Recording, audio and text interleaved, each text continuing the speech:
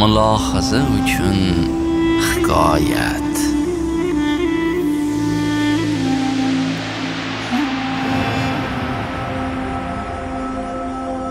Otasi har qancha tushuntirishga urinmasin bola istagini bajarishni qat'iy talab qilishga o'tdi.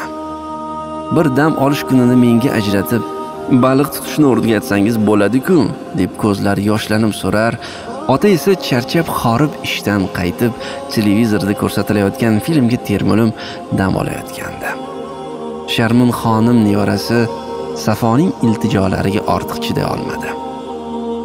Bir bor shu bolaning istagini yerda qoldirmasang bo'lmaydimi o'g'lim? dedi og'rinish bilan. Har yakshanba peshingacha uxlaysan faqat bir kuningni bag'ishlab safo uchun bir nimalar qilsangchi? Karim ham jahl bilan onasiga javob berdi. Siz menga otalikni o'rgatyapsizmi? Avval o'zingizdan so'rasangiz bo'lardi. Siz men uchun nima qildingiz? Bir martagina meni tabiat qo'yniga sayrga olib chiqdingizmi? Bolaligimdan beri mehnatga ko'milganman. O'g'lim u paytlar bilan hozirning farqi bor axir. Sharmin xonimning ovozi titrab chiqdi. Qanday og'ir kunlarni boshdan kechirdik eslasangchi. Men ham sen bilan yayrab o'ynab kulishni istardim. Karimning battar g'azabi toshdi. Bo'ldi bo'ldi ona bolaligimda men uchun hech narsa qilmagansiz. Endi menga otalikni o'rgatmang. Sharmin xonimning ko'ziga yosh keldi. Bir so'z demay qo'ltiq tayoqqa suyanib xonasiga chiqdi. Odim otarkan yuzlari tirishdi. Aftidan nogiron oyog'i qattiq og'riyotgandi o'rindiqda jimgina o'tirib ona bolaning tortishuvini kuzatgan mehmedbey hansirab o'rnidan turib xonasiga yo'naldi. Karim esa ota onasining ranjishiga parvo qilmay filmni tomosha qilishda davom etardi. Bir necha daqiqadan keyin mehmedbey eski bir sandiqni ko'tarib xonaning shundoq o'rtasiga qo'ydi va ichni titkilay boshladi.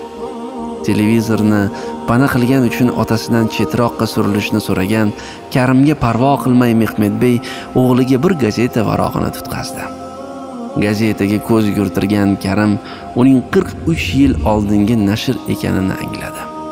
Xaloskor ona sarlavhali maqolada yo'lda o'ynayotgan 3 yoshli karim ismli bola katta tezlikda kelayotgan yuk mashinasi ostida qolib ketishi mumkinligini ko'rgan onasi bolani yo'l chetiga uloqtirib o'zi qochishga ulgurmay qolgani va avtohalokatga uchragani haqida yozilgan edi.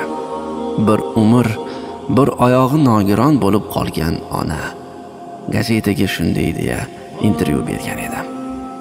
O'g'lim uchun nogiron bo'lib qolish u yoqda tursin o'limga ham roziman.